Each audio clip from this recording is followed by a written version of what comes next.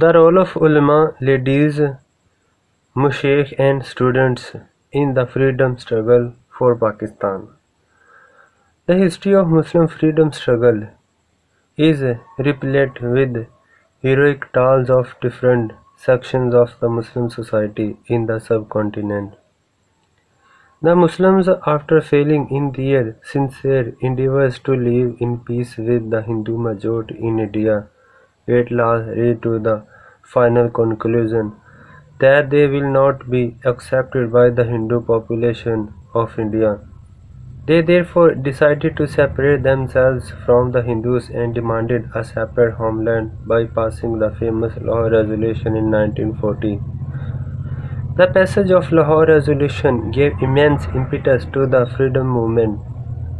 The Muslims gathered under the dynamic leadership of the Quaid-e-Azam, who gave new meanings and shape to their quest for independence.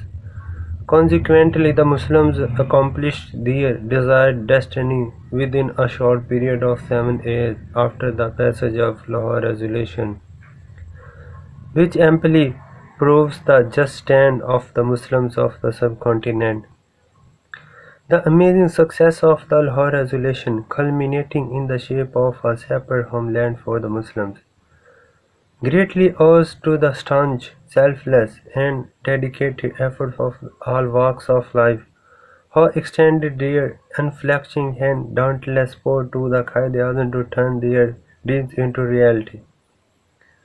In this respect, the role played by the most revered ulama and mushaykh is of great significance. They came forward with their spiritual strength to infuse nationalism in the Muslims.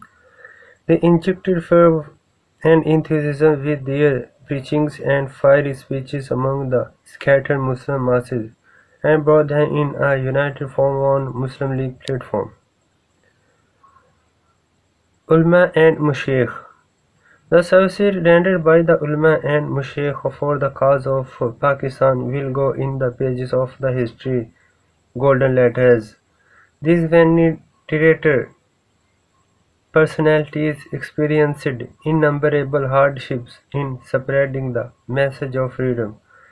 The ulama and mushaykh with their preachings enlightened their followers and disciples in the freedom issue. They had to undergo lot of difficulties in personally contacting Muslims living in far areas. They held meetings and convinced the people to support the Muslim League. The ulama and mushaykh extended their profound assistance to the Quaid-e-Azam and made his task much easier. They attended the annual meeting of the Muslim League at Lahore in 1940. They took active part in the proceedings of the meetings where the famous Lahore Resolution was passed. They expressed their wholehearted support for the cause of independence. The ulama, after the passage of Lahore Resolution, worked with greater zeal for the establishment of Pakistan. The most prominent of the venerated ulama were Allama Shabir Ahmad Usmani, Maulana Ashraf Ali Thanvi, Maulana Hamid Badiani, Peer Sayyid Jamaat Ali Shah, Peer Sahib Zakuri Sharif, and many others. The ulama and mushaykh remained with the Muslim League and the Quaid-e-Azam during the election campaigns in 1936 and 1946. The ulama always attended the annual meetings of the Muslim League to assure the Quaid-e-Azam of their sincere support for his sacred mission. They toured the whole of the subcontinent and for the Muslims of the atrocious policies adopted by the British and Hindus against the Muslims. Due to the untiring efforts of the ulama and mashaykh, the Muslims shed off their sluggish attitude to come under the banner of the Muslim League. First of all, we will discuss Allama Shabir Ahmad Usmani. Allama Shabir Ahmad Usmani was a great theologian and Sufi, and he was the first of the Deoband school to extend his invaluable assistance to the cause of the Muslim League. He extended his staunch support to the Quaid-e-Azam and sided with him against the volleys of attacks from other ulama against the Quaid-e-Azam.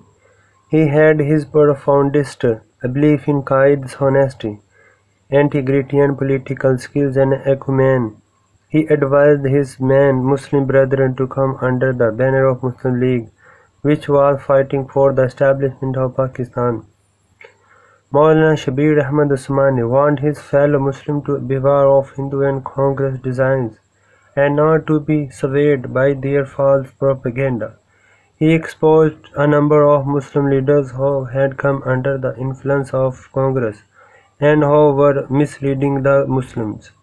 Ulama, especially Usmani, asked the Muslims to vote for the Muslim League. He declared that any Muslim who will vote for the opponent of the Muslim League would ruin the future of entire millat and would be answerable before the Almighty on the day of judgment. Another main fa- actor of the Pakistan movement was Maulana Ashraf Ali Thanvi, who was an eminent scholar and a renewed mystic of the Deoband school, rendered the most dedicated services to the cause of freedom movement. And Allama Shabir Ahmad Usmani, he became the most trusted companion of the Qaid Azam. He was widely respected all over the subcontinent for his vast religious and mystical knowledge. For most of the time he devoted himself to impart of religious knowledge. However, he came into politics to support the Muslim League after finding the Muslims being exploited by the British and the Congress. Another main actor of the Pakistan movement and freedom struggle of for the Muslim state was Pir Sayyid Jamaat Ali Shah. Pir Jamaat Ali Shah was born in a small village known as Alipur. He received religious education and learnt the Holy Quran by heart. He received further education from Maulana غلام قادر بیربلی Maulana Fazal Hassan Sharqpuri and Mufti Muhammad Abdullah at Lahore he entered the discipleship of Shah Fazal ur-Rahman Ganj Muradabadi from whom he the he received mystical education Pir Sahib here perform Hajj and was loyal follower of the holy prophet peace be upon him Pir Jamaat Ali Shah rendered invaluable service to the freedom movement.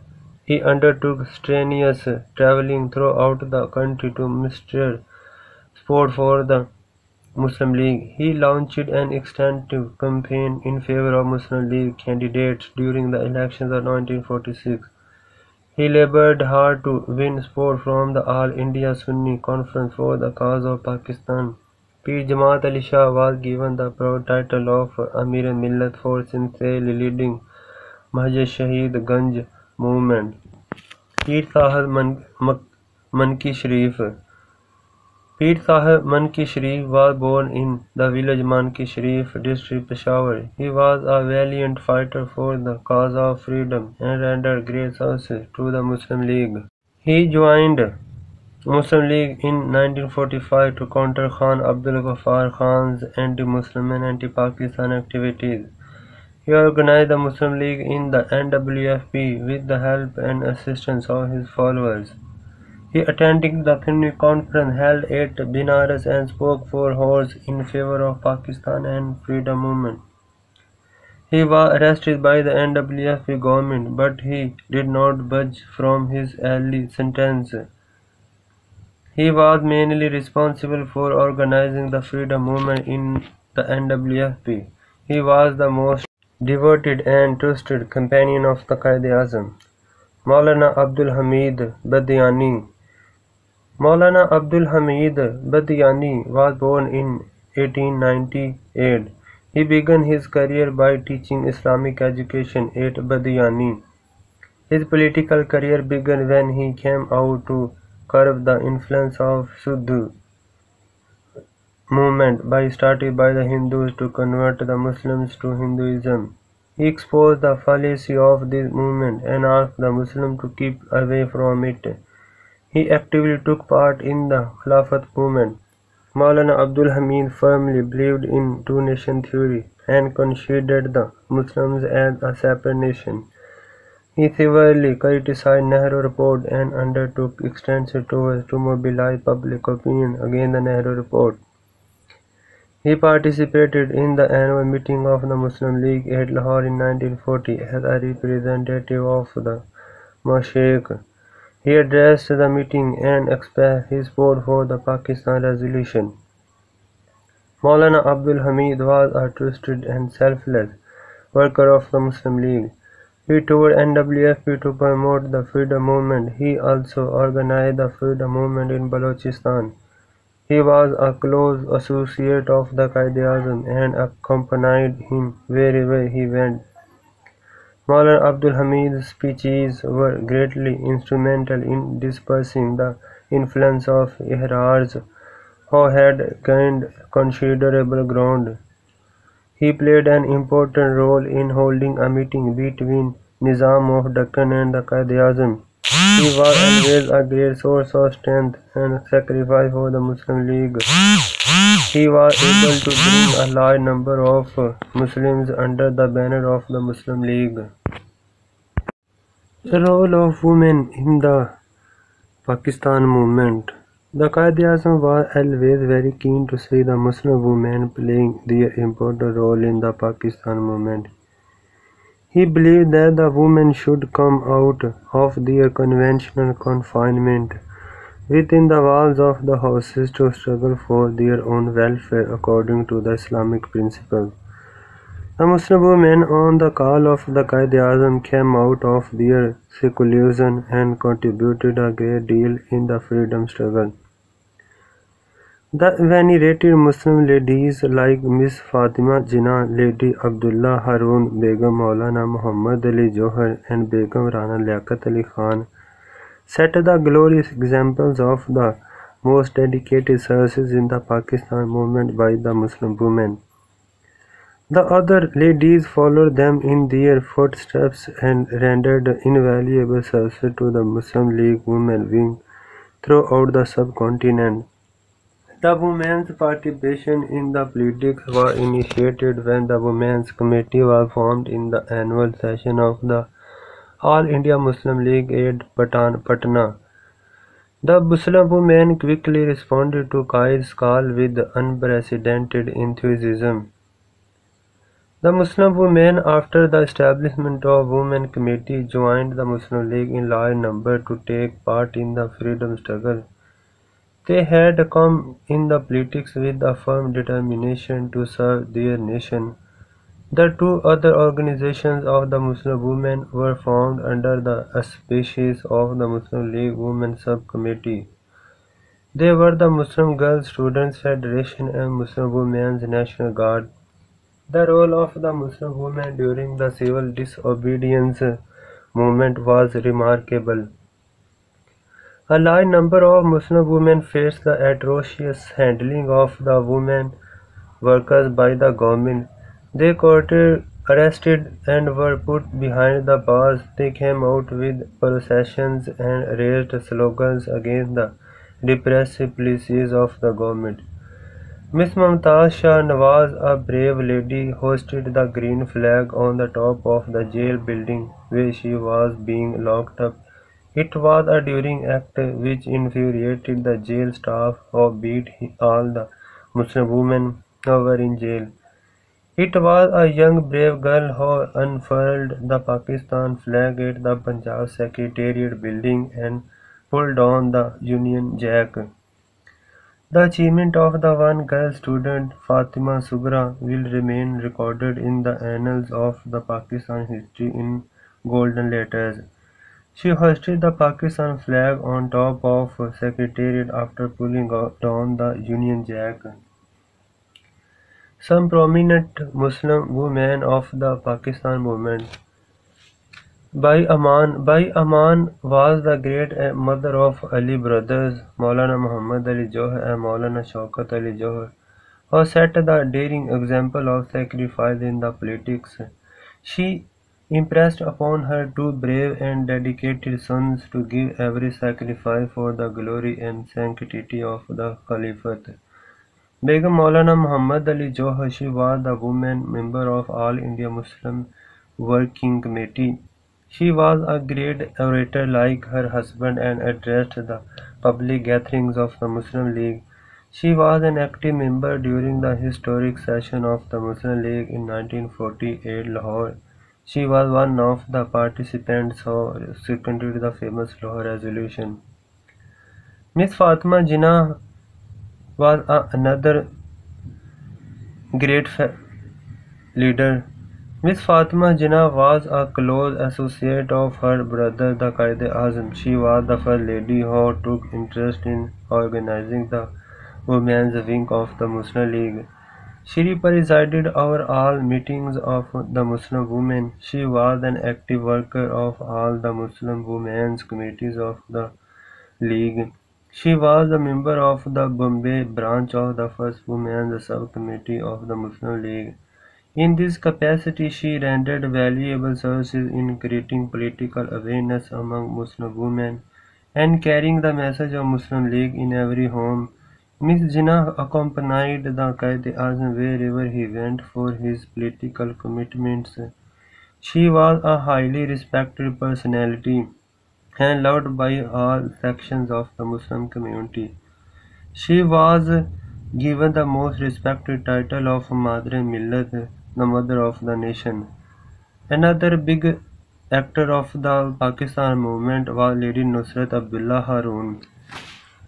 Lady Haroon was a prominent woman of Sindh. She was a devoted worker of the Pakistan movement.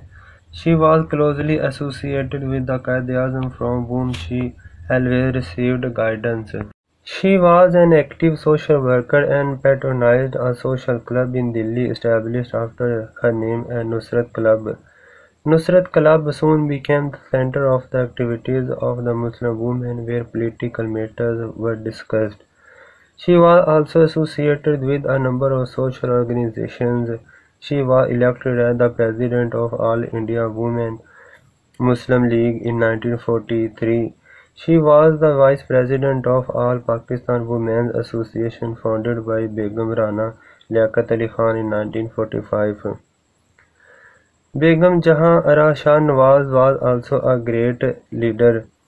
Begum Shah Ara Nawaz was the daughter of Mian Sher Muhammad Shafi, one of the founders of the Muslim League and president of the League in 1930 and 1927. Begum Jahan Ara was one of the senior-most members of the Muslim League. She was an ardent fighter for Muslim women's rights and a great advocate for their emancipation. She had the unique honor of attending the first and second roundtable conferences as the only Muslim woman member. She attended the third roundtable conference as the sole representative of women for British India. Begum Shah Nawaz took active part in a number of conferences held under the banner of Muslim League. She was an active member of the several committees of the Muslim League before the establishment of Pakistan. She was elected to the Punjab Assembly in 1937 and rose to the status of parliamentary secretary. In 1942, she was sent to the USA with a two-member delegation by the Quaid-e-Azam she was to take part in a debate held by New York Herald Tribune on the Hindu-Muslim issue. She made an elevated impression on the American people by her impressive presentation. Begum Shah Nawaz was a vocal worker during the civil disobedience movement against the Unionist government of the Punjab. She was arrested by the Punjab government during the Pakistan movement in 1947. She was the member of the first Constituent Assembly of Pakistan and remained so till 1954. She was elected for the second time to the Punjab Assembly in 1955 and 1961. She visited several countries to muster support for Pakistan movement. Begum Rana Liaquat Ali Khan she was the wife of Nawab Zada Liaquat Ali Khan, the General Secretary of All India Muslim League and Prime Minister of Pakistan after the creation of Pakistan. She was an active woman worker who was closely associated with him. She was extended invaluable assistance to her husband. She was held ambassadorial assignments of Pakistan in a number of countries. Begum Salma Tasaddiq Hassan Begum Salma Tasaddiq Hussain joined Muslim League in 1937 and meritoriously worked under the dynamic guidance of the Quaid-e-Azam for the establishment of Pakistan. She was elected as member of Punjab Assembly in 1946 and remained as such for 12 long years. She was the member of the first Pakistan delegation to the UN. In 1946, she did services in the rear-stricken areas of Bihar. She helped the affected people along with other women workers. She was the secretary of Punjab Muslim League from 1940 to 1958. She, she took active part in the civil disobedience movement against the Khizr Ministry of the Unionist Party in the Punjab. She courted arrest for her activities in the civil disobedience movement. She had held responsible assignments in social and political organizations. Begum Salma went on a European tour in 1951-52. She was the member of the Pakistan parliamentary delegation to China in 1957. She was appointed Deputy Minister for Labour to the government of West Pakistan in 1958. Begum Shaista Ikramullah was the daughter of Sir Hassan Suhrawardi, the Vice Chancellor of Calcutta University. Begum Shaista had a distinguished career in education and politics. She was the member of the first Constituent Assembly of Pakistan from 1947 to 1953. She was the member of the first Advisory Board of Education, Government of Pakistan from 1947 to 1956. She was the member of the Pakistan delegation to the UN in 1948. She contributed in drafting the Constitution of Human Rights. She was the member of Pakistan delegation to the UN in 1956 and was the deputy leader of the delegation. These were the sources of women who served for the Pakistan movement. The students' role in the freedom movement. The role played by the Muslim students in the freedom movement is of momentous significance in the view of the invaluable services which they rendered to the cause of Pakistan. The Quaid-e-Azam rightly observed in calling the Muslim students as the arsenal of Muslim India. The students made available the young and energetic leadership which was most direly needed during the critical stages of the freedom movement. They were the most trusted companions of the Quaid-e-Azam who had great hopes in their strength, education, and devotion for the noble objective of freedom. It was in fact the Muslim University of Aligarh which took lead in the student politics. The students who were educated at Aligarh were very different from the students of conventional educational institutions. They developed different approach towards all walks of life. They ultimately became the harbingers of the Muslim student struggle in the freedom movement. The Aligarh students with their immaculate behavior and conduct give birth to a group of determined and selfless workers which were to work for the glory of the nation and which were to struggle for the final destiny of the Muslims of the subcontinent. Aligarh produced men like Maulana Muhammad Ali Johar, Maulana Hasrat Mohani, and Maulana Zafar Ali Khan, who played a key role in the reawakening of the Muslims of India. They also laid down the foundations of political journalism among the Muslims. Maulana Hasrat Mohani published his Urdu a Maula which set the example of courageous journalism in India. Maulana Muhammad Ali Johar started his Comrade and Hamdard which became very popular among the Muslims. These pro prominent personalities, however, among the early graduates of the Aligarh injected the spirit of freedom amongst the students and young people who had graduated from the Aligarh. Their thought-provoking articles stirred the Muslims and awakened them from their slavish behavior. The students of Aligarh had already developed a sense of Muslim nationalism. They were very much aware of the difficulties of the Muslims in India. The cruel exploitation of the Muslims by the British and Hindus had cultivated deep sense of belonging among the students of the Aligarh. When they came out of the university, they came with a sacred mission and a noble objective of ameliorating the condition of their downtrodden, helpless, and oppressed brethren. The students of Aligarh were always ready to extend assistance to the Muslims in distress. When Dr. Mukhtar Ahmad Ansari organized a medical mission to help the Turks in 1912, four students of Aligarh, Chaudhry Khaliquzzaman, Abdur Rahman Siddiqui, Shoaib Qureshi, and Abdur Rahman Peshawari joined it. The Aligarh students were very active during the Khilafat movement and quickly responded to the call of Hijrat. The contributions of the Aligarh in the freedom movement are enormous as the first brick of the citadel of Pakistan was laid on the day the Aligarh movement was initiated. The students of Aligarh did not stop their endeavors even after the death of Sir Syed an important and influential group of highly educated and enlightened Muslim students, well aware of their national identity and fully conscious of their role, emerged from Aligarh to pay a way for national freedom.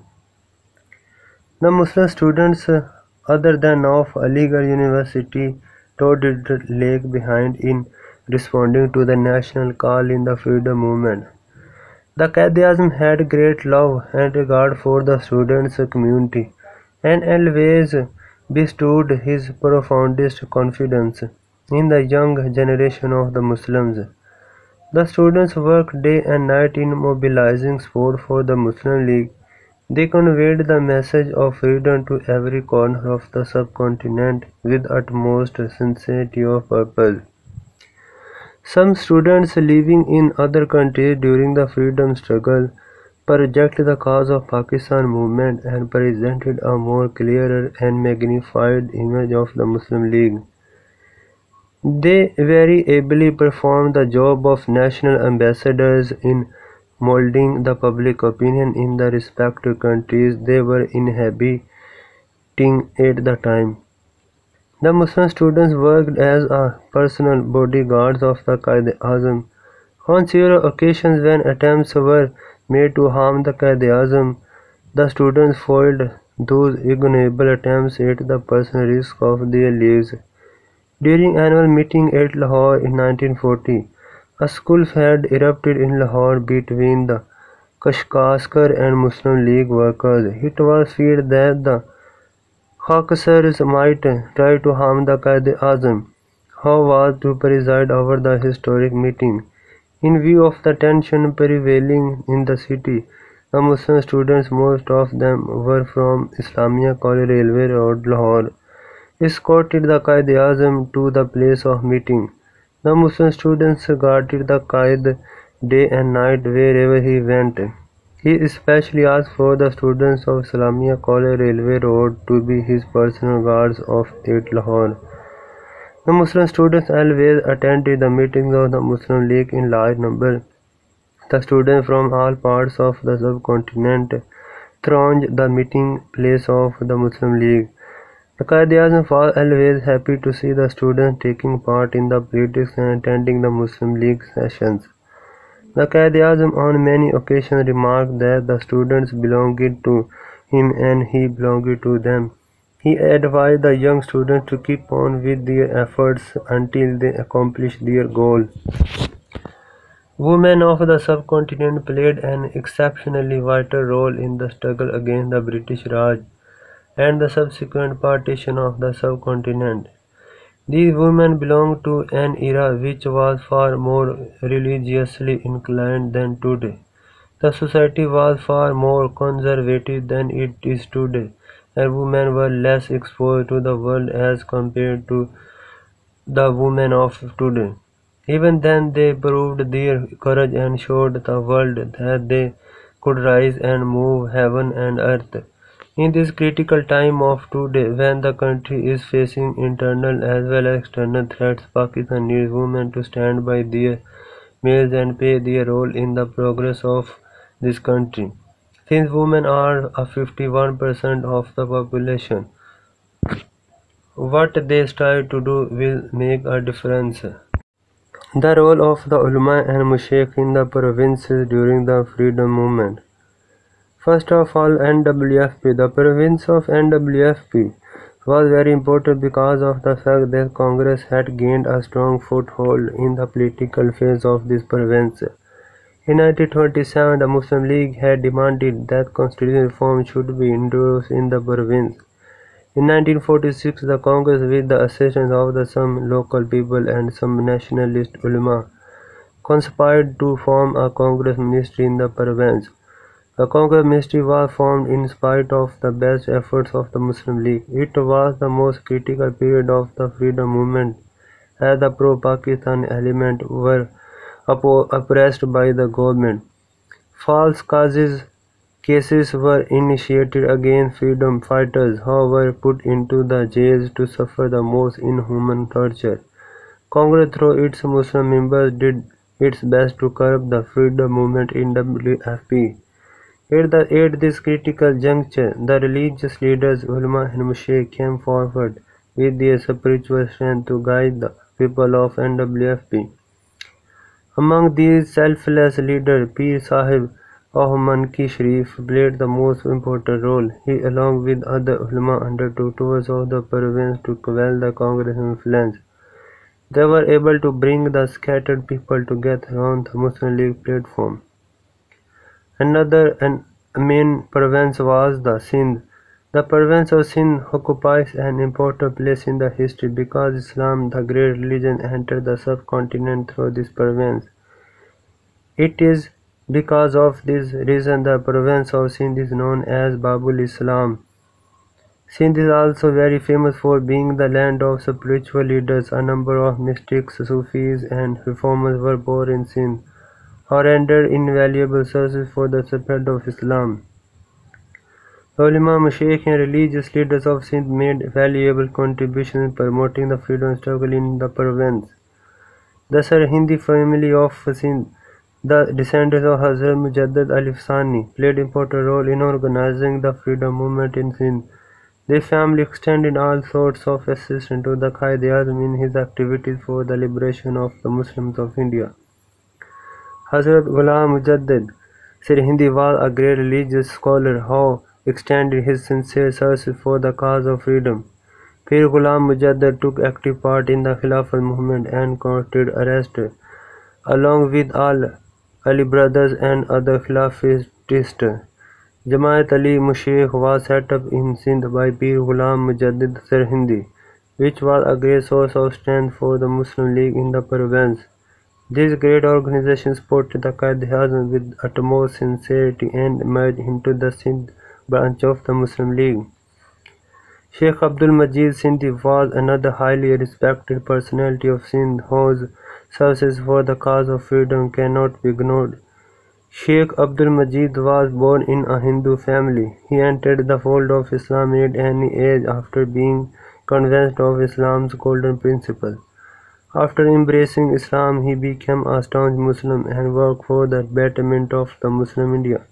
He was a prolific writer and used his journalistic qualities against the Hindus, Sindhi Vaderas and the British.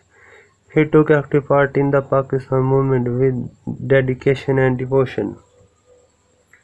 Another major and great province was the Punjab. The religious leader ulama and mushaykh belonging to Punjab took active part in the freedom struggle. They prepared the people to fight the war for independence by injecting fervor among them with their speeches and preachings. The people of Punjab, stirred by these speeches, worked day and night in spreading the message of independence to every corner of the province. A large number of holy men, spiritual leaders, pirs, and saints belonging to Punjab. They came with the conquest and settled down in the province to spread the light of Islam. Quite a large number of these holy men spent their whole life in Punjab and were buried in Punjab soil after death. These respected personalities wrote political awareness among the people side by side in the religious education.